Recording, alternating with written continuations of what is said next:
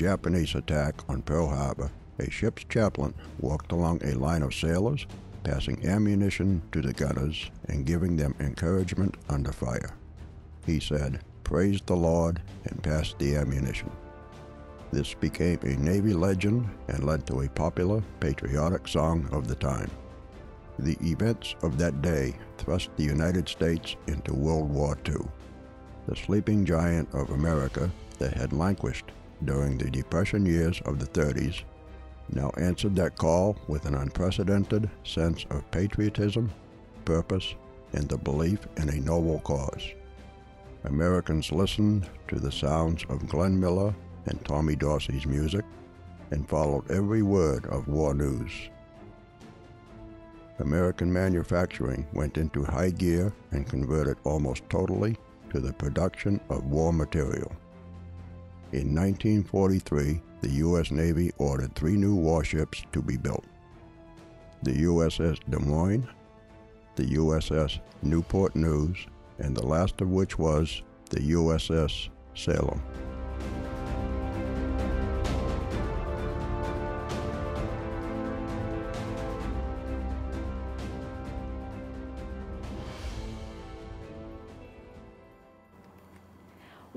To the USS Salem, nicknamed the Sea Witch.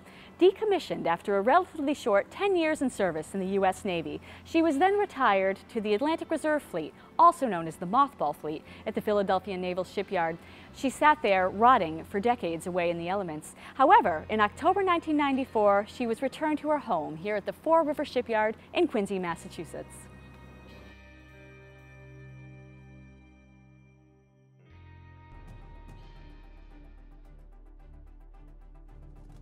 The USS Salem was ordered on June 14, 1943, and built by the Bethlehem Steel Company at the Fore River Shipyard in Quincy, Massachusetts. The keel was laid down on July 4, 1945, and she sailed on March 25, 1947. The vessel was formally commissioned on January 30, 1949, with hull symbol CA 139. At the time the mighty ship began service, it was state of the art in communications, radar, and armament. She was sleek and visually stunning. She was 717 feet bow to stern with a beam of 77 feet. She completed her shakedown cruising in Caribbean waters in October of 1949 and returned to Cuba twice before the end of the year. She joined the Atlantic Fleet at the turn of the decade before entering the Mediterranean, where she became known as the Pride of the Sixth Fleet. Beyond friendly port stops, NATO exercises, and training endeavors, the warship was used for humanitarian operations. In 1953, along with ships from several other countries, she responded to the Ionian Islands of Greece as medical aid for earthquake victims. She was active in the Mediterranean Sea during the Suez Crisis, October to November of 1956.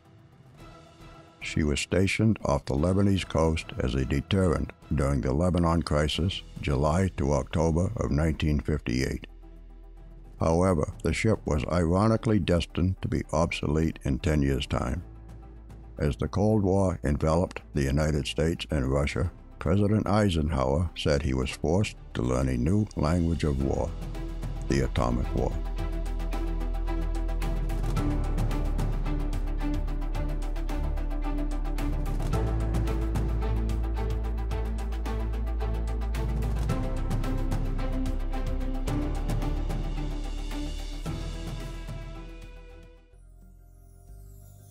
The soul of a ship is just as hard to describe as the smell of a ship, but just as palpable. The gray smell, as some Navy veterans call it, the rust of metal in salt water, old paint, aged wiring, and perhaps memories. The gray smell lives in the gray zone where the ship's ghosts are. The boilers that once gave power to the ship are cold now. The telephones and PA are silent. where so many men once occupied the passageways and compartments, there is emptiness and silence. How many human breaths were taken here, and how many exhalations breathed life into the ship? And do they linger? At what point does a lifeless thing made of steel become referred to as her or she? This human quality given to an inhuman thing.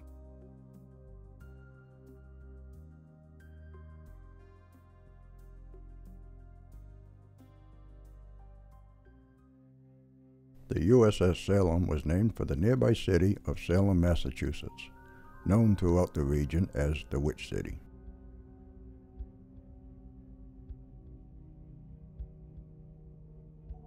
Today, a popular tourist attraction where visitors stroll the historic district and delight to the street performers and historical reenactors.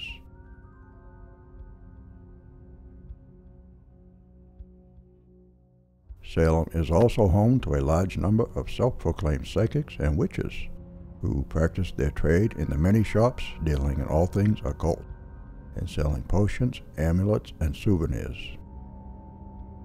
But Salem also harbors a dark past, and the strangeness of the place lingers even today.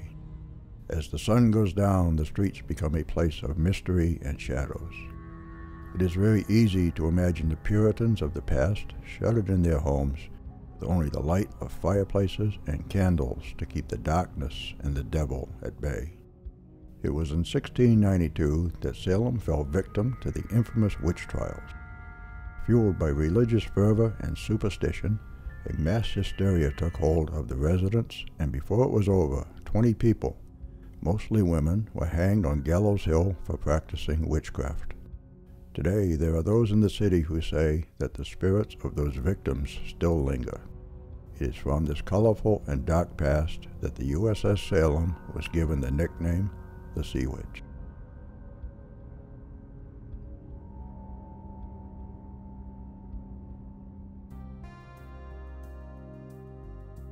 Give you some backstory on the USS Salem, uh, it had a lot of tragedy, even though it never saw combat. So back in 1953, there, it served as a, a triage vessel during the Ionian earthquake and the Ionian earthquake had dozens of people who came on board. Some of them may have died on board. So there was a lot of death, even though I never saw combat. There was also a situation that happened in the Brooklyn Navy Yard. Uh, there was a gentleman, or maybe more than one gentleman, who was burned to the point where he died. And that left a psychic imprint on this vessel. Now you have hundreds of sailors who were on board the USS Salem for many years. They loved that ship, and I feel like that those sailors left a psychic imprint on the vessel in addition to the tragedy that the USS Salem saw not being in combat.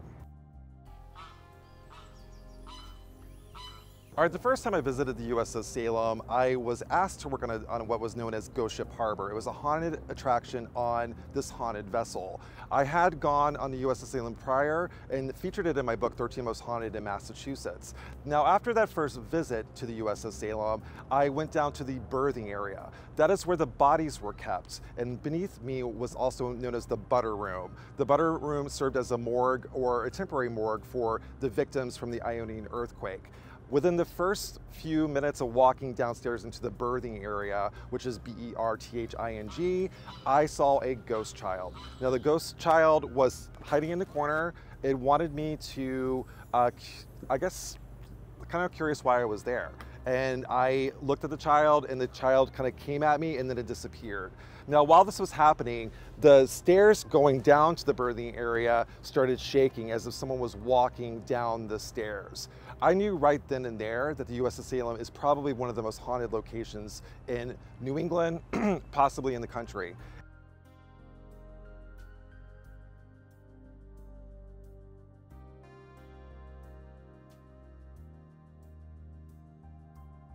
So, uh, aboard the ship, the vast, vast majority uh, of entities are intelligent. You know, they're very interactive.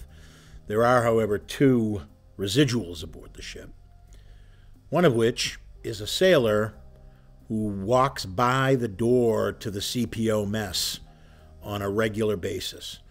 He walks the same way, forward to aft. He never turns and looks. You could yell when he walks by, and he would never acknowledge you. He just walks by. He's been known to walk by a couple of times in pretty rapid succession, but again, always forward to aft, never the other way.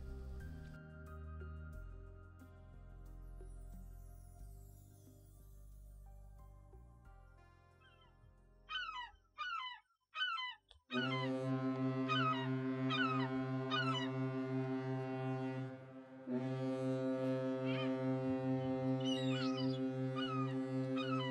I'm Pat Connors. I'm with the Greater Boston Paranormal, and I want to tell you a story about a ghost dog that was on the USS Salem in October.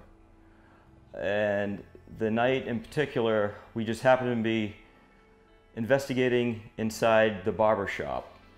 Uh, I believe there were four investigators, and we are doing EVPs, EVP uh, work, and K2 work, and I had the spirit box actually right up on, the, on this counter here. I heard Carrie say something uh, like, oh my God. And I turned around and she had a look of shock in her face and she was staring right outside that doorway. And she said, that's it. And she took off running and went through the door and went down the hall. And I couldn't understand what happened, but I know whatever did happen really shocked her. Um, and a few minutes later, she came back and she said, I saw it. I said, What did you see? And she said, I saw the dog. So she described what happened is that while I was doing the spirit box, she was standing there looking outside the door and she saw a shadow figure moving along the bottom of the doorway, and she said it was in the shape of a dog. It stopped in front of the doorway, turned its head, and she could see its ears pointed up. It probably looked like a, a, a black, I think she described it as a black shepherd looking dog. It looked straight in here, looked right at her, turned its head, and went down the hall. And that's when she said, Oh my God, ran out the door, and ran down the hallway.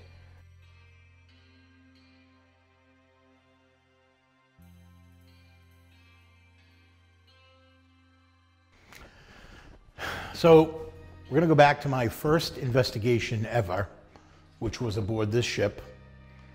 And uh, I had been told that back here there was a sailor who was angry who had a tendency to be aggressive towards guests that were back here. So I came back here alone. Someone foolishly left me to my own devices, and coming back here and looking around, uh, I basically announced to the room that this guy was supposed to be some kind of a badass, and that I was a sailor too, and I was a bigger badass than he ever was, whether he was dead, alive, or somewhere in the middle. And if he had something, he ought to just bring it on because I was standing here waiting for it. And nothing happened. Nothing at all happened. If I remember correctly, nothing happened at all that whole that whole night. So fast forward about two years. Uh, I've been on the ship, I can't say how many times by that point, and I'm now occasionally guiding groups who spend the night on the ship to investigate. And on this particular night, it was a pretty large group, but I happened to be back here in the third mess area that I discussed a little while ago. And there was uh, an investigator by the name of Kelly who also happened to be a psychic, um, an extremely sensitive psychic. And she was back here at the same time. And we were kind of waiting, you know, as you do. Nothing was really, nothing was really going on. And at some point, my back, and, and I, I guess I have to I have to digress for a second and say that this was the summertime. And if you've never been on the ship in the summertime, uh, the only way I can explain it is it's a big steel box in the sun. Um, so it's incredibly hot on the ship. And at this point, my back was as cold as I've ever felt it. I mean, literally freezing. And at just about that same time, Kelly announced he's here. He's definitely here now. And she said, and he's right behind you, Don. He's here. He's right behind you. And he's laughing at us. He thinks we're the funniest things we, he's ever seen. Except you. He doesn't like you. Me?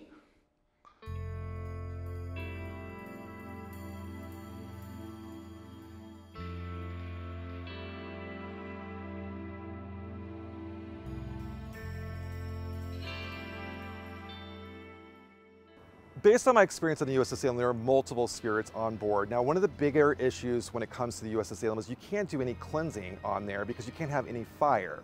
So we can't do like say saging or whatever. So a lot of the spirits are kind of I would say stuck on that vessel. Um, I encountered a child spirit when I first walked on the USS Salem. I had an experience with what we call uh, paranormal darts, and it's some, a name that we came up, up with as a group, uh, where there's a shadow figure kind of coming at us, and then that shadow figure disperses into little pieces, and those pieces come at us like darts. So we call them paranormal darts. Now, when I went back to the USS Salem recently, uh, I saw multiple shadow figures dart by throughout the vessel. Um, was that a former sailor? Uh, possibly. I have heard many accounts of people saying that there are sailors still on board the vessel. Uh, there is a ghost dog, and if you spend a lot of time on the USS Salem, you actually experience this ghost dog, and it's a growl type dog uh, that's on the vessel. Uh, there is a female. Um, I was doing an interview on the USS Salem when I first started working on the USS Salem, and we were there, and I heard what sounded like a female scream come from the medical area, uh, and she was she was screaming bloody murder, and what was it? I think maybe it's one of the females that were giving birth during the Ionian earthquake. Uh, we had at least a dozen women, because of the trauma, who were pregnant, were brought onto the USS Salem and they gave birth on the USS Salem. So it served as an impromptu uh, spot for women to have children. When it comes to the spirit of the USS Salem, I think with, without a doubt, there's definitely a soul to the USS Salem.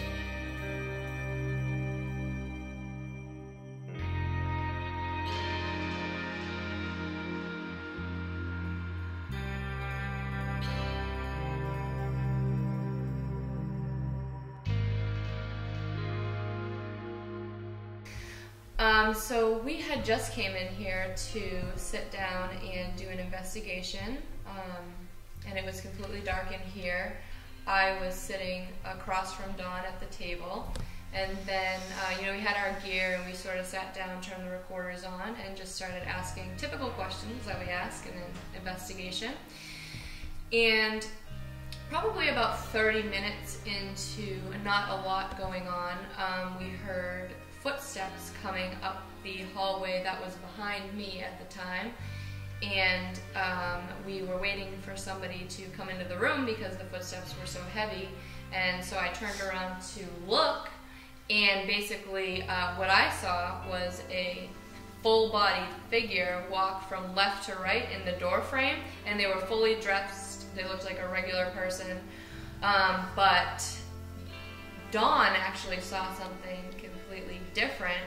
Um, and I don't know if you want to explain that part a little bit.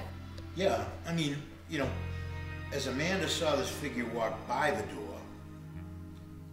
what I saw was a figure that was, I think, different than what she saw because what I saw was was all black, like a more like a shadow than a what you would call a full-bodied apparition, I guess, and and and it stepped into the door and stood against the wall, like under the exit sign.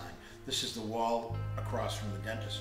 We both got up immediately and, and chased it to see if we could see what it was. And uh, we met, so Don went out one door and I went out the other door and we met in the middle and, and there was nothing there. So. Okay, just to, you know, where we are in the ship, when Amanda goes out one door and I go out another door, as you walk forward, obviously being a ship, it goes to a point in the bow, and and and you know there's nowhere to go from where we went unless you go up a ladder, and the ladders are pretty loud, so it was pretty clear nobody went up the ladder.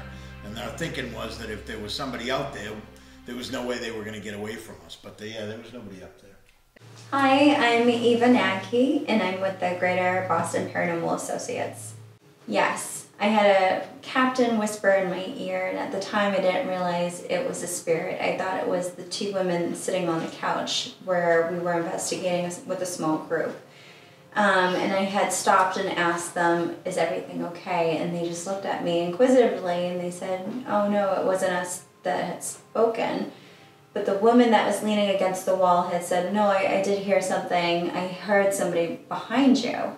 And that's where Pat Connors had mentioned that, you know, funny you should say that, but Don has an EVP recording of the captain complaining about his legs. And at the time, I had no idea about the story because I was brand new to the team and brand new to the show. So that gave it validation for me. Um, and recently, the last five times I've been on the ship, the ramp, the gangway to get up to the ship has been very active in terms of a lot of banging, a lot of noises, and it's not it's nothing hitting the ship. It's the ropes, the chains are in place. It's a matter of you can tell there's a weight on the ramp when you see the wood bending. Um, we've also had phantom footsteps in the in one of the rooms in the deck where you could hear the running and then a pause and stops and then it started up again. Yes, I believe the USS Salem ship definitely has a soul. Um, with my experience of investigating the ship and being part of Don's team, I've definitely seen the ship come alive based on the spirits of the men and women that have been aboard. These events happened in October of 2018. It was me, Pat Connors, and Don Cristofaro, and Riley Black investigated for Greater Boston Paranormal. We were on the USS Salem down below the decks at the operating room, which is probably one of the more active areas of the ship. And I believe we were the only people on board at the time. And we couldn't figure out how to get into the operating room because it was all blocked off. We wanted to get in there and maybe do some EVP work. So while Riley was thinking about it, she said that she heard a little girl and she said, I remember you. Later on, she reviewed that uh, bit in her EVP and she heard, Come play with me from a little girl. And so later, uh, we we, we kept on trying to figure out how to get into the to the operating room. And Don was thinking, how are they going to get in, into the operating room? And just as he was thinking that,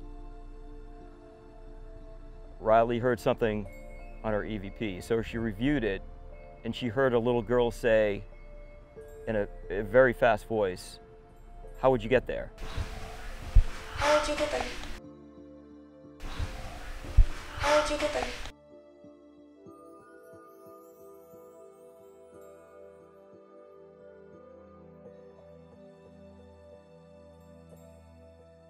So uh, the Salem come in here on a Sunday, and there was another ship here called the Southern Cross, and that was the pier opposite the original pier.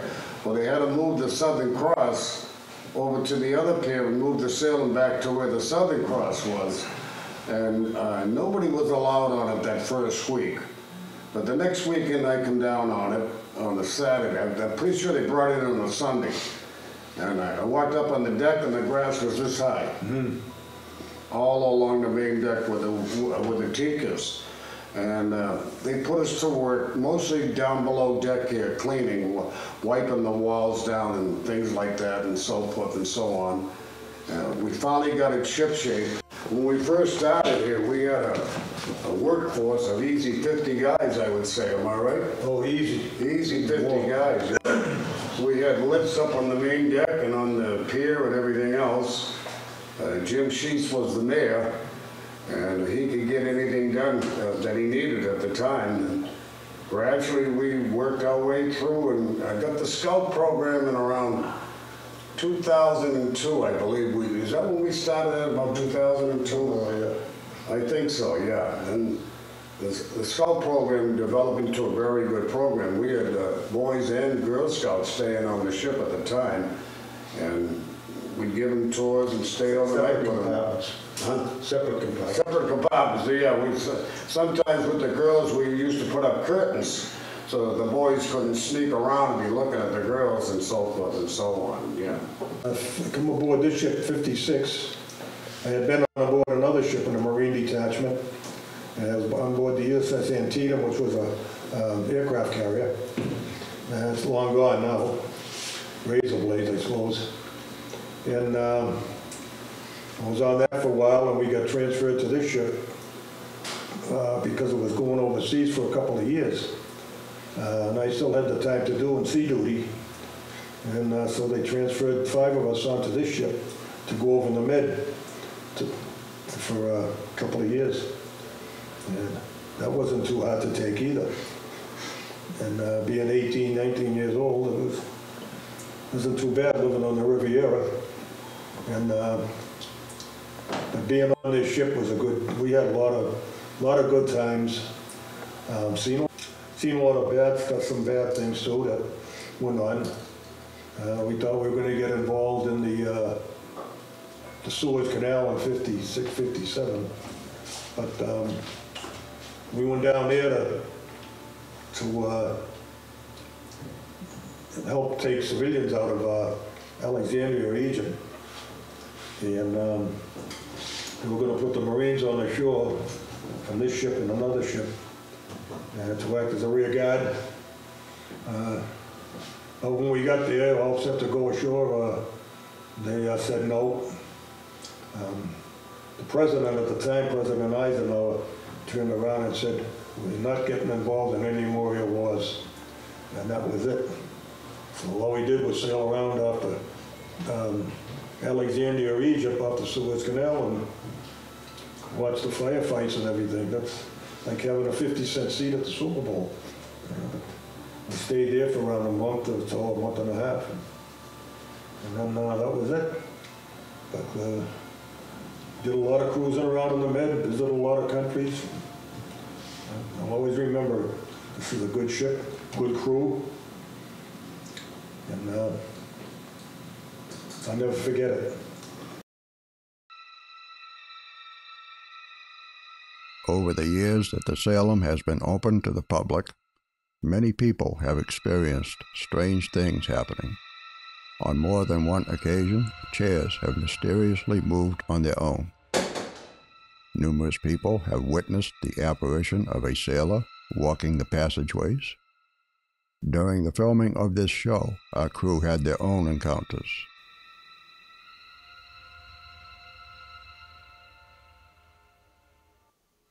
One of our camera operators was filming B roll on the bridge when he was startled by a loud bang behind him. No one else was anywhere in the area. Was it the spirit of the helmsman going about his daily routine?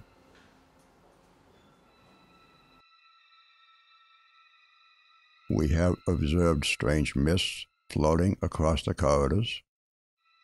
One crew member saw a shadow figure pass in front of him. We have all heard phantom footsteps when nobody was present.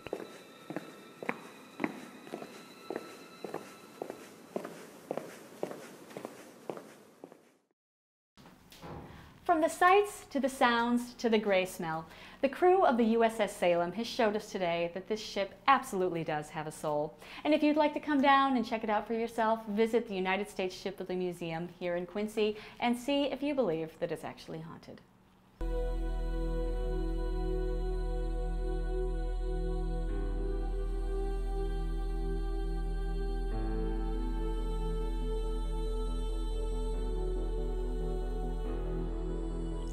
The USS Salem has appeared in a number of reality TV shows over the years, sometimes portrayed as having a dark, even demonic entity associated. The reality is the spirits of the USS Salem are just the souls of all the men, women, and children who were touched by this mighty ship. The tragedy that she was associated with lingers in the passageways, on the decks, and in the living quarters. Memories, smells, feelings all combine to leave an imprint in the cold metal and in the stale air of an otherwise empty ship. On a cold, misty night, you can stand on the deck and feel the presence of those who served and those who perished. You can feel the soul of the Sea Witch.